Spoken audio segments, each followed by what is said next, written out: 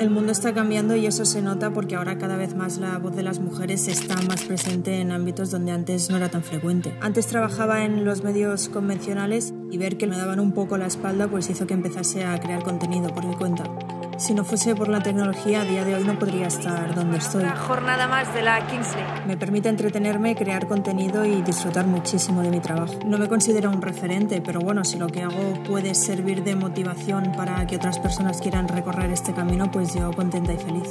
Me llamo Laura Vizcaíno, soy periodista deportiva y creadora de contenido.